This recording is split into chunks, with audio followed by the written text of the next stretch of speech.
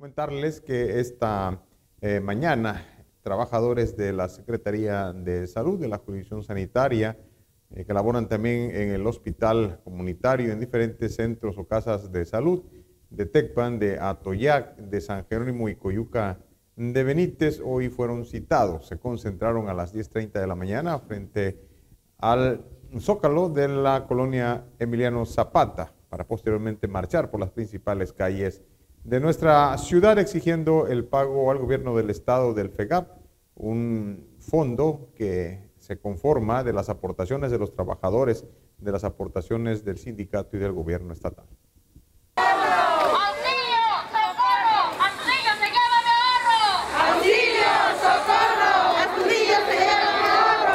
Trabajadores de la jurisdicción sanitaria en Costa Grande de los municipios de Tecpan de Galeana, Atoyac de Álvarez y San Jerónimo marcharon por las principales calles de Tecpan para concluir con un mitin en el zócalo de la ciudad, demandando al gobierno estatal el pago del Fondo del Estado de Guerrero de Ahorro Capitalizable, el FEGAC. Como estaba previsto, el personal de la Secretaría de Salud fue convocado a partir de las 10.30 horas de esta mañana frente al zócalo de la colonia Emiliano Zapata partiendo 30 minutos después, tomando la carretera federal Acapulco-Ciguatanejo y después doblando en la calle Hermenegildo Galeana para llegar al Zócalo ubicado en el centro de esta ciudad, donde permanecieron varios minutos. En entrevista, el líder de la subsección 05 del Hospital Comunitario de Tecpan, Alejandro Rosario Cruz, explicó que este tipo de marchas fue a nivel Estado en todas las delegaciones sindicales exigiendo el pago del FEGAC, que debió haberse pagado a finales del mes de julio.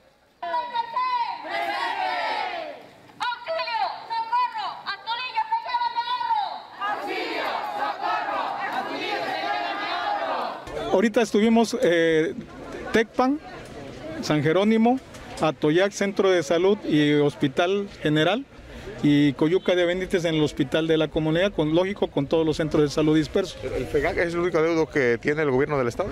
Bueno, ahorita de momento el punto álgido es el FEGAC pero sí hay algunas prestaciones, dentro de las 21 prestaciones que nos presta el ISTE, nos han estado quitando varias prestaciones como trabajadores y que eso a lo mejor ha quedado a nivel secundario por lo prioritario que resulta para los compañeros el pago. Esto es porque también ustedes tienen una aportación, pues obviamente. Sí, mira, el FEGAT se compone de tres partes, lo que es la aportación del trabajador, la aportación del sindicato y la parte más fuerte es la de nivel del Estado, que es la cuestión, ¿sí?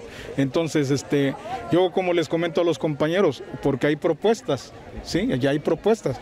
Si pagamos nada más lo que es este el ahorro, el ahorro del trabajador y la del del sindicato y pagamos, por ejemplo, la primera etapa, pero pues lógicamente en una reunión, en un pleno que tuvimos nosotros, acordamos que no, o sea, se tienen que liquidar las tres, todo, porque por ley esto se debe de haber pagado desde, desde la última quincena de julio.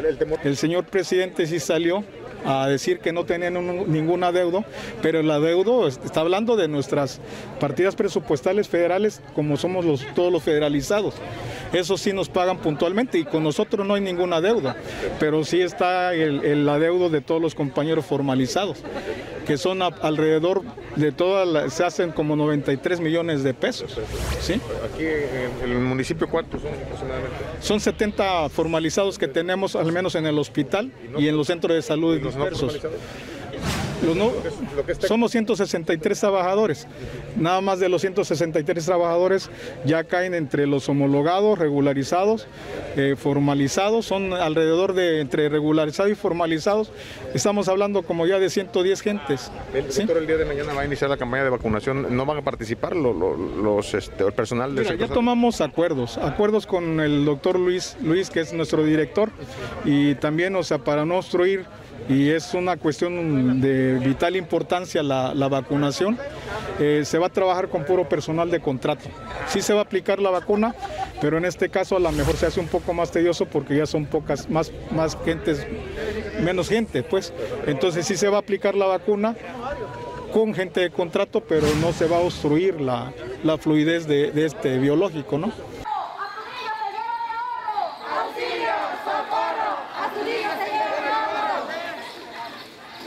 Por último, Rosario Cruz explicó que el fondo se compone de las aportaciones de cada trabajador, las del sindicato y del gobierno estatal, y aunado a ello dijo, están buscando la forma de que el gobierno federal, quien es el que aporta las partidas presupuestales, ya que el FEGAC no tiene techo presupuestario, mismo que se toma de varias partidas presupuestales para cubrir el pago, y hoy se adeudan más de 93 millones de pesos.